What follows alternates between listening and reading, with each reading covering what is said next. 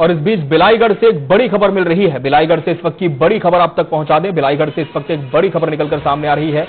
Food poisoning का शिकार हुए हैं ग्रामीण। फ़ूड पॉइजनिंग का शिकार हुए हैं ग्रामीण। बिलाईगढ़ से बड़ी खबर आपको बता दें, जहाँ ग्रामीण फ़ूड पॉइजनिंग का शिकार हो गए। साठ से अधिक ग्रामीणों को अस्पताल में भर्ती कराया गया है। साठ से ज़्यादा ग्रामीणों को अस्पताल में भर्ती किया गया है, जो फ़ूड पॉइजनिंग की चपेट में आ गए। बिलाईगढ़ से बड़ी खबर आप तक पहुँचा रहे हैं। मरीजों में ज़्यादातर बच्चे और महिलाएँ शामिल हैं। मरीजों में ज़्यादातर बच्चे और महिलाएँ शामिल हैं जो फ़ूड पॉइजनिंग का शिकार हो गए हैं। तस्वीरें भी आपको दिखाएँगे।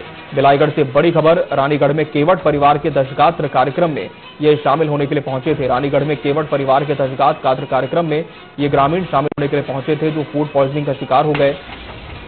बिलाईगढ़ से ये बड़ी खबर आपको बता दें, जहाँ फ़ूड पॉइजनिंग का शिकार हुए हैं ग्रामीण। महिलाएँ और बच्चे ज़्यादातर इसमें शामिल है जो फ़ूड पॉइजनिंग की चपेट में आ गए।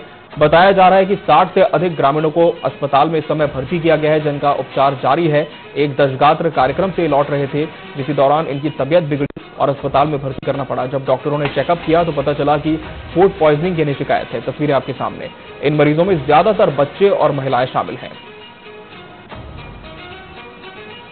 हमारे सहयोगी प्रशांत प्रधान इस खबर पर जुड़ चुके हैं। जी बताएँ किस तरह से ये जो ग्रामीण है, ये फ़ूड पॉइजनिंग की चपेट में आ गए बताया जा रहा है कि कोई दशगात्र का कार्यक्रम था जिसमें शामिल होकर लौट रहे थे।